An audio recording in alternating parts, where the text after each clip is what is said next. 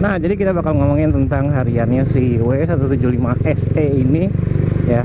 Sebenarnya sih ya kalau untuk harian sih nggak terpaut model ya. ya udahlah.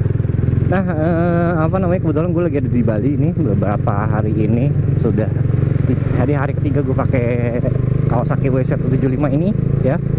Ya berdasarkan eh, apa yang gue alamin adalah eh, beberapa special note dari uh, motor ini ya. Ini adalah motor classic retro yang pertama yang gua pakai ya gitu jadi gua nggak pernah pakai motor classic retro. Jadi ya ini pertama kali gitu loh ya. Pertama adalah dari performanya. Nah motor ini 175 cc overbore ya. Meskipun overbore tapi dia tenaganya lebih ada di uh, rentang RPM tengah ya di 6500 uh, maksimum powernya ada di uh, seingat gue 7000an lah.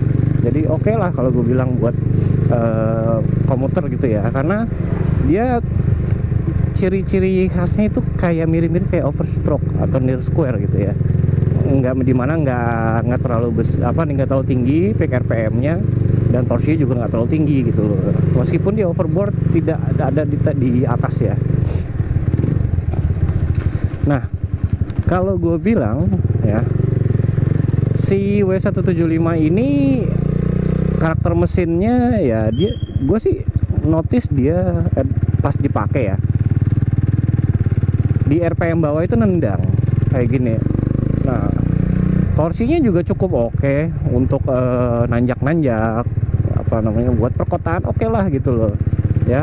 Cuma kalau untuk uh, yang nanjak tinggi banget gitu gue belum nyoba sih dulu ya.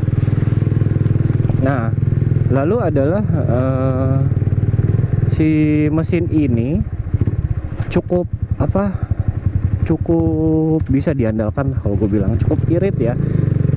Nanti kita akan bahas tentang bensin ya karena gue apa namanya eh kita harus muter. Ntar dulu.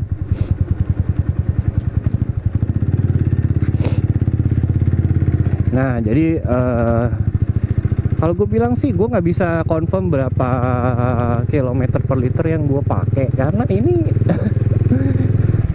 nggak ada meteran bensin nih cuy. Jadi nggak gimana ya itu salah satu fitur yang kurang sih di W175 ini. Kalau teman-teman punya atau mau punya W175 harus consider ya. Jadi tangki bensin itu e, tidak terdetek gimana ya. Gue harus goyang-goyangin si e, tangkinya baru kelihatan gue punya bensin berapa tuh. Ya. Jadi e, cukup mengesalkan sih kalau gue bilang. Karena kita nggak tahu ada berapa bensin gitu. Jadi kalau misalnya teman-teman mau apa namanya mau lihat bensinnya apa namanya mengukur seberapa banyak ya isi penuh odometernya di iniin. Odometernya di trip ini di reset ya. Jadi nanti per pemakaian teman-teman ya ini aja. Kalau misalnya udah kira-kira sekitar ya let's say ini uh, 1 liter untuk 30 kilo lah paling boros ya. Berarti ini kan kalau tangkinya itu sekitar 13 liter ya. Berarti sekitar 400 kilo. Teman-teman udah harus uh, apa namanya isi bensin lagi gitu ya. Cukup ini sih kalau gue bilang cukup tricky karena kita nggak tahu uh, seberapa irit dan seberapa boros ini motor gitu tapi kalau gue bilang sih satu-satunya cara ya itu gitu loh. Kalau misalnya mau aman ya ya udah isi bensin aja tiap hari gitu loh. Sesuai dengan uh, beberapa apa namanya uh, testimoni ya begitu. Ya lihat aja nggak ada apa-apa. Ya.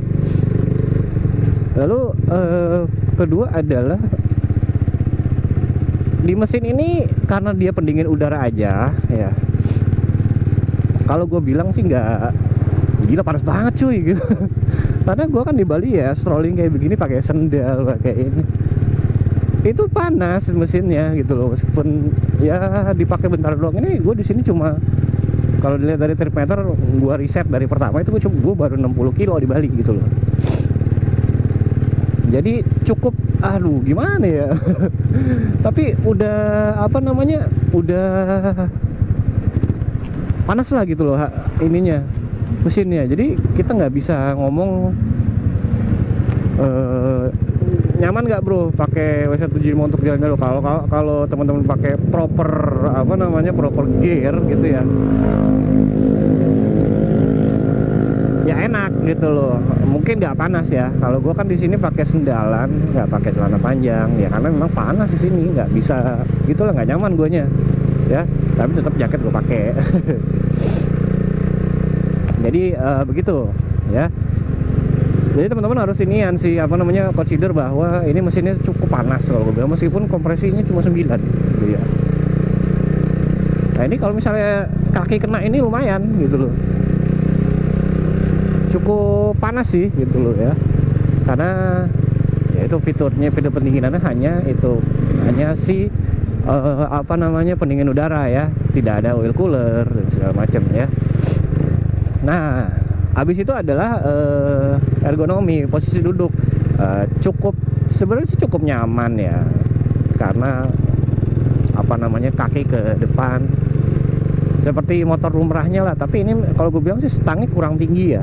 Jadi masih agak nunduk gua gitu loh. Cukup ya kalau kalau dipakai jalan jauh ya motor-motor nunduk itu kayaknya agak agak pegel ya gitu loh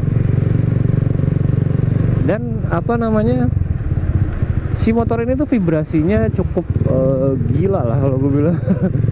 Ya di RPM tinggi itu geternya motor ini cukup berasa gitu ya. Nah itu.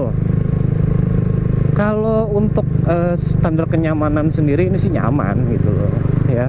Motor ini sangat, sangat nyaman karena ya khasnya Kawasaki lah gitu loh build quality-nya gitu ya.